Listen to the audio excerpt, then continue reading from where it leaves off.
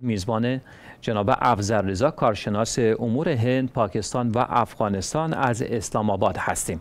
آقای افزر رضا سلام و عرض ادب. بنده نیز سلام دارم خدمت شما استاد گرامی و همچنین بینندگان محترم شبکه علیه السلام. در خدمتم ممنونم زنده باشید.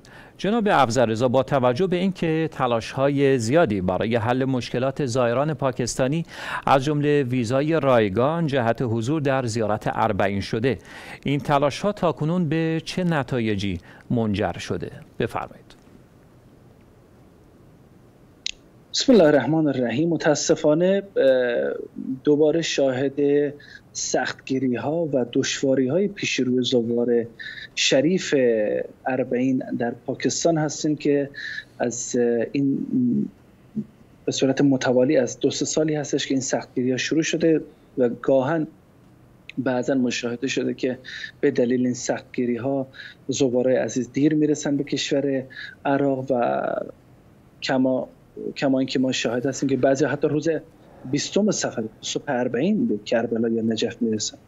امسال هم شاهدن همین مسائل هستیم. علا رقم این که دولت پاکستان طی چند هفته اخیر مذاکرات با سفیر محترم عرب در اسلام داشت و اخیرا یک هیئت نظامی امنیتی از کشور جمهوری عرب در اسلام به ریاست فرمانده کل نیروی تکاور جمهوری عراق مذاکرات وزیر کشور داشتن. دوباره وزیر پاکستانی از طرف های عراقی درخواست می‌کنه که مثلا آقا سختگیری کم بشه و اینکه حداقل می‌خوان گذرنامه های زوار پاکستانی ازشون گرفته نشه چون که سال گذشته ما داستان هایی داشتیم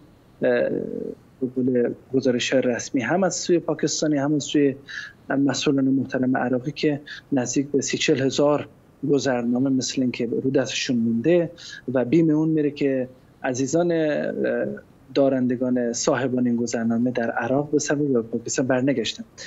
البته بنده اینو لازم به ذکر می‌دونم که تا زمانی که این درخواست ها در, در سطح وزیر خارجه پاکستان و نخست وزیر این کشور با طرف های محترم خودش در عراق مطرح نشه من فکر نمی کنم بشه حل این موانع رو برداشت.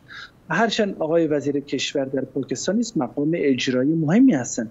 ولی به نظر من دولت محترم عراق به دنبال زمانت های قوی تری هستش که اگر بخوان روان سازی بکنه در, در صدور روادید و تسهیل بکنه رفته آمد زوار پاکستان به این کشور باید مقام های عالی رتبه پاکستان تضمین بدن که این عزیزان میان برای زیارت اربعین مشرف میشن و در زمان موعد کشور عراق ترک کرده و به کشور خودشون باز میگردن.